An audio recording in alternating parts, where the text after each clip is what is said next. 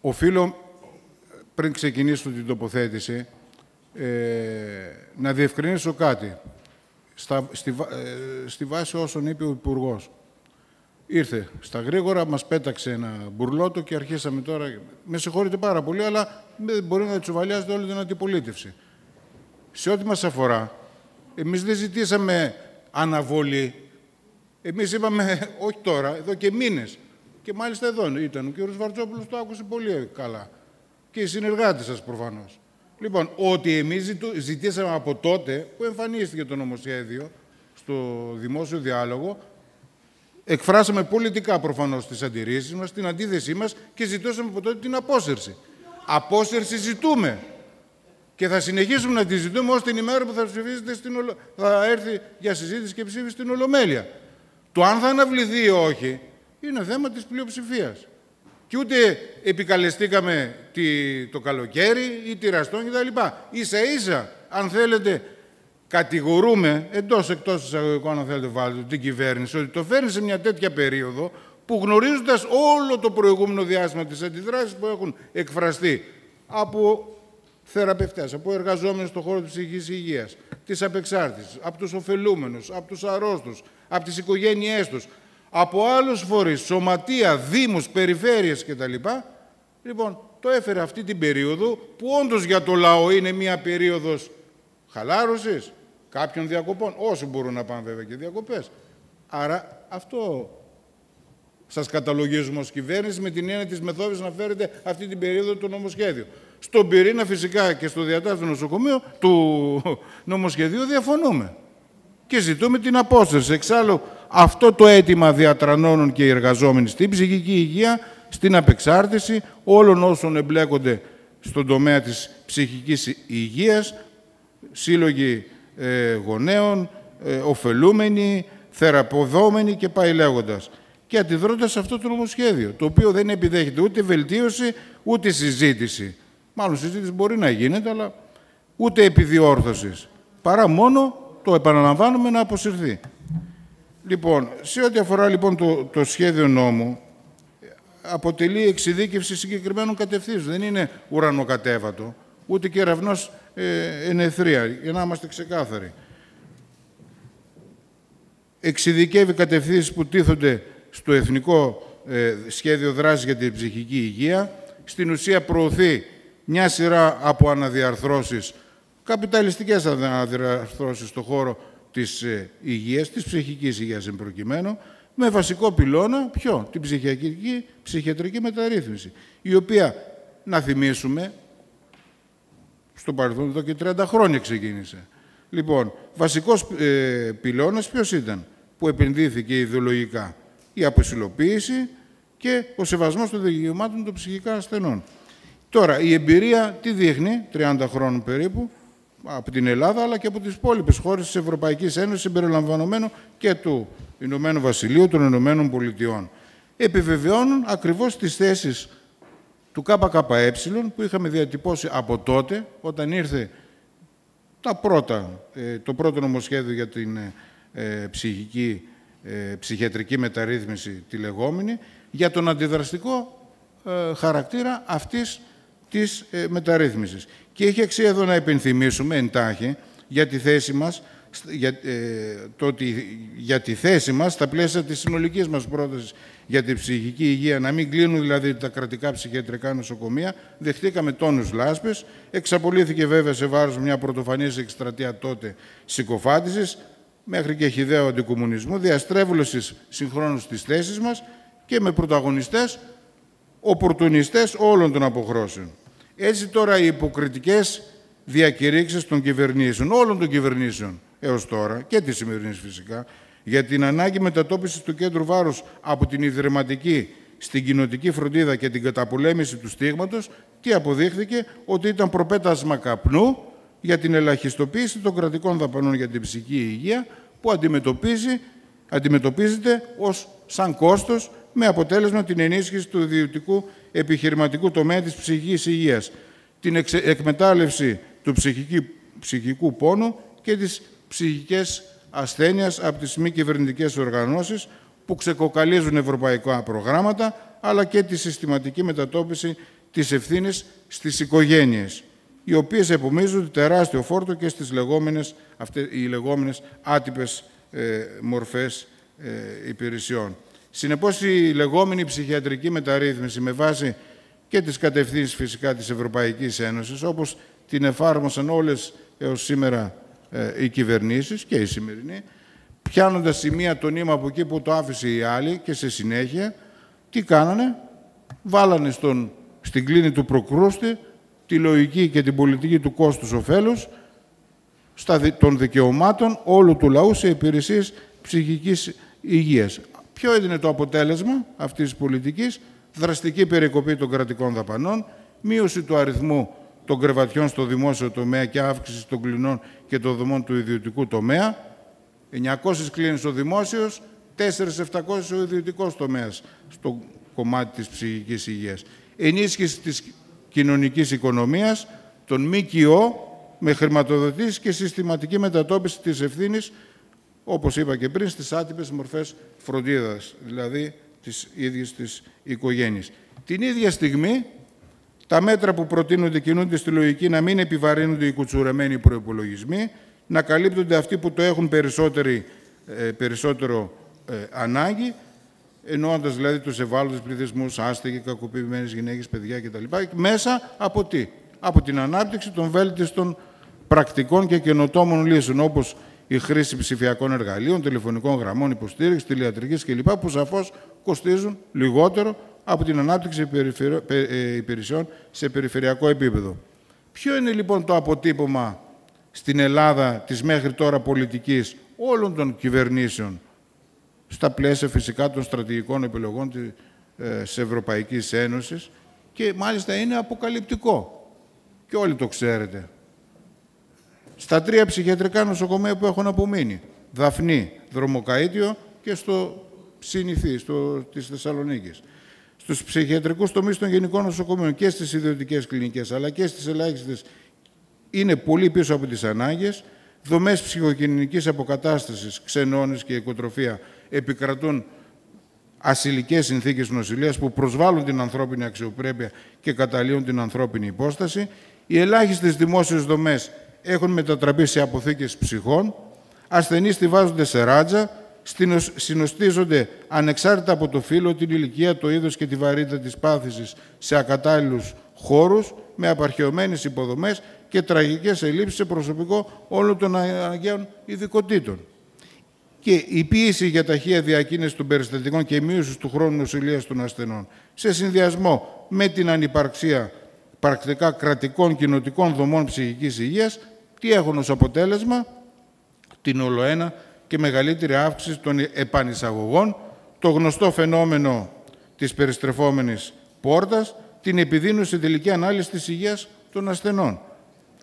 Και μάλιστα το υψηλό ποσοστό των αναγκαστικών νοσηλειών, δείτε τώρα, το 60% των νοσηλειών είναι ακούσεις, αποδεικνύει ακριβώς την ανυπαρξία της πρόληψης σε όλα τα επίπεδα, που θα μπορούσε κατά τη γνώμη μας, και όπως ε, το έχουμε βάλει και το βάζουμε όλα τα προηγούμενα χρόνια, που θα μπορούσε να επιτύχει η πρώιμη ανίχνευση των ατόμων με ψυχικές διαταραχές με την έγκυρη αντίστοιχα διάγνωση και θεραπεία, την πρόληψη των υποτροπών κλπ.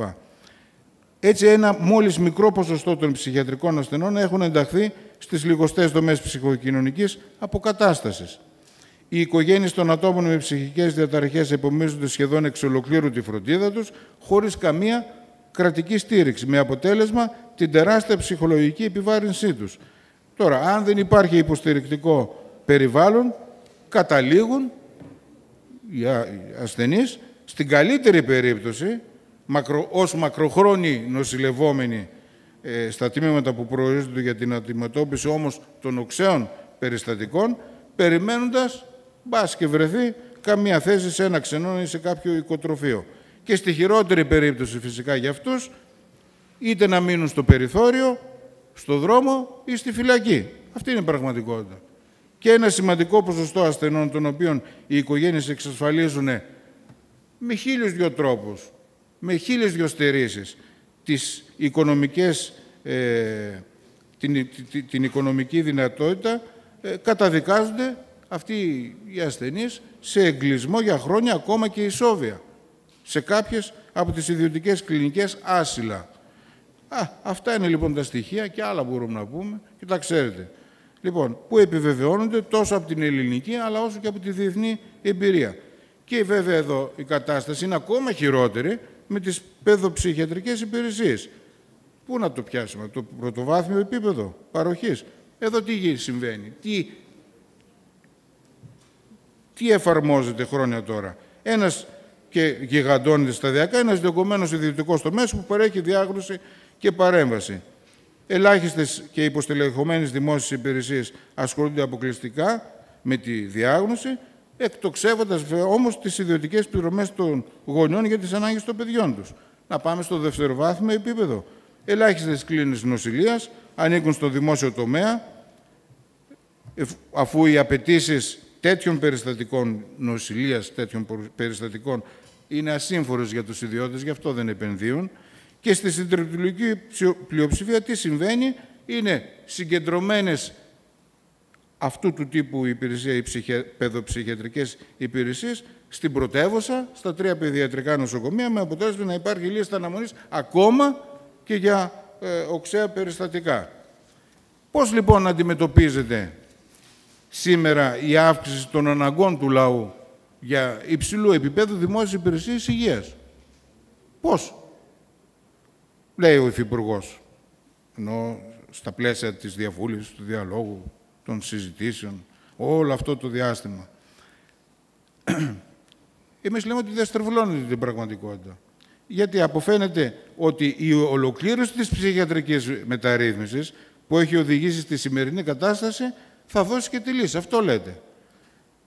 Ισχυρίζεστε ακόμα ότι δεν υπάρχει έλλειψη δομών, αλλά έλλειψη ενιαίου σχεδιασμού και δομών αυτών. Αντί δηλαδή το κράτος να αναπτύξει τις απαραίτητες πρωτοβάθμιες, δευτεροβάθμιες και τριτοβάθμιες υπηρεσίες που χρειάζονται, έρχεται να νομοθετήσει τι, την ενιοποίηση των υπαρχόντων υποδομών και δομών, δημόσιου και ιδιωτικού τομέα, οι οποίες αυτονομούνται τα δύο νοσοκομεία, ε, δύο, ναι, τα δύο ε, ψυχιατρικές κλινικές τμήματα σε Αθήνα και Θεσσαλονίκη, αυτονομούνται από το ΕΣΥ και το κράτος αναλαμβάνει τι ένα ρόλο υπόπτη και συντονιστή τους.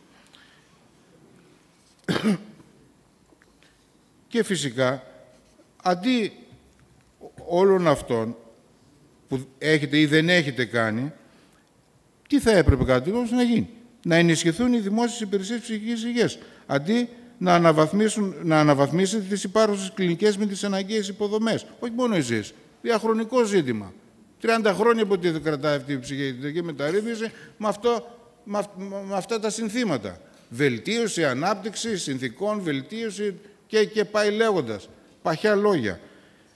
Έτσι λοιπόν, αναβάθμιση των υπαρχουσών κλινικών με τις αναγκαίες υποδομές, επάρκεια σε σύγχρονους θαλάμους, με υποδομή που να προσφέρει ασφάλεια, με μοναδικό κριτήριο για τη λειτουργία τους στη θεραπεία των ασθενών και όχι τη στίβαξή τους ως άλλες αποθήκες ψυχών. Η συγχώνευση, ε, παρά, αντί λοιπόν αυτών, τι κάνετε, προχω... όχι εσείς μόνο και οι προηγούμενοι. Συγχωνεύσετε κλινικές στο δημόσιο σύστημα υγείας, κλείσατε δομές ή προϊονίζετε κλείσιμο και δρομολογείτε κλείσιμο δομών των εναπομείναντων δομών και αύξηση των ιδιωτικών δομών. Και όλο αυτό στο όνομα της αποασυλοποίησης. Αντί λοιπόν να φροντίσετε οι ήδη υπάρχουσες δομές να είναι πλήρες τελεχωμένες, με επαρκές, ειδικά εκπαιδευμένο μόνιμο ιατρικό και νοσηλευτικό προσωπικό και εξειδικευμένη ομάδα από ψυχολόγους, εργοθεραπευτές, κοινωνικούς λειτουργούς και άλλες ειδικότητες, τι κάνετε, τις υποβαθμίζετε, υποβαθμίζατε, τις υποβαθμίζετε και τις θέτετε πολλές φορές και κάτω από τα όρια της ε, ασφάλειας με συμβασιούχους, δεν είναι μομφή στους εργαζόμενους, αλλά έχει να κάνει με το τύπο της εργασιακής σχέσης. Συμβασιούχοι οι οποίοι αγγίζουν το 50% του προσωπικού και με απουσία συνάμα σημαντικών ειδικοτήτων. Να πως φτάσαμε στη σημερινή τραγική κατάσταση για όσες δημόσιες μονάδες υγείας υπάρχουν στη χώρα μας. Και είναι ξεκάθαρο, συγγνώμη,